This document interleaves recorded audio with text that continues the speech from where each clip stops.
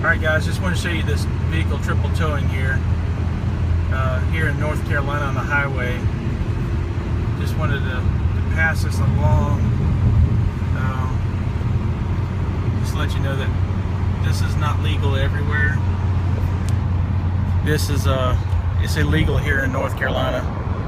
Uh, just because it may be legal where you're from does not mean that you can do it or drive that way across any state. Um, I'm a I do law enforcement, but I don't do you know I don't run the road or anything. I, I do it a little bit differently.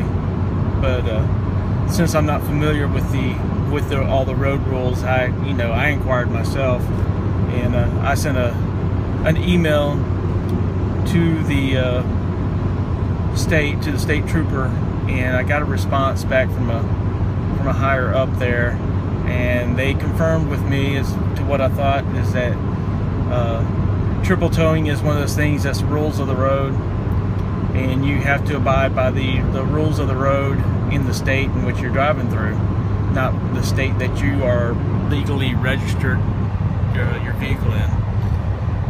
Anyway, just wanted to uh, just to pass that along. I, uh, on my way home and, and saw that and uh, just wanted to anyway just pass that on so whenever you're driving make sure that you uh, you check those rules in the states that you're passing through that you're driving through and uh, you may be fine 99% of people may be fine but you know you may be that 1% that gets pulled over or may have issues with it so and uh, heaven forbid if you get into an accident and then they you know they start adding that to it and finding you at fault. But anyway, just want to pass that along. Uh, and y'all have a safe and uh, good day.